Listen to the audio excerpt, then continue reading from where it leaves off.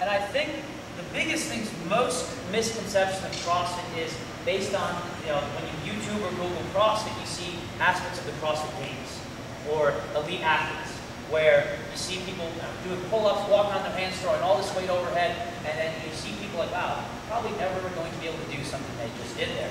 And that's one end of the spectrum, if you will. That's you know, the competitive aspect.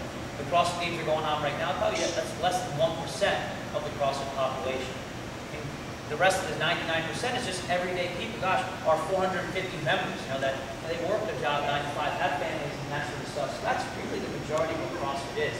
And breaking it down in a nutshell, CrossFit is constantly very functional movements executed at high intensity. And if we break this down into smaller parts, it's a three-part definition. And I'd like to start with this functional movement. And now, you guys are no stranger to the fitness industry. And this functional movement piece, it's an awfully big buzzword. Right? I mean, everything's a function, from the shake weight to like the gazelle, mm-hmm. you name it, it's, it's a functional movement. So we want to you know, bring some framework to what is a functional and what is their natural. They have universal motor improvement patterns. I, you go outside, you see a bird flapping its wings, a dog wagging its tail, it just happens in everyday life. We, in our, in our everyday life, pick something off the ground and stand up with it. Bring something from the ground to our overhead position. Get on the ground get off the ground. A deadlift, a clean a squat. These are things we do every day, and we don't think twice gosh, I'm 5'5", everything's over my head, so I have to be really good at bringing things to my, you know, my shoulders overhead, all sorts of things like that. That being said, there's one unique characteristic that we love functional movements for, and it's that they move a large load, a long distance, quickly. Large load, long distance, quickly. If we break that down into another version, times distance divided by time.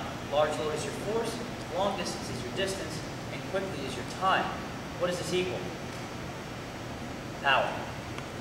So this equals average power, right? Bringing it back to like, you know, that's been a long time. It's like, yeah, I believe that was like, you know, fifth grade, you know, physics, if you will. Um, so now, the reason why we like this, because the exercise physiologists, they don't all hard work.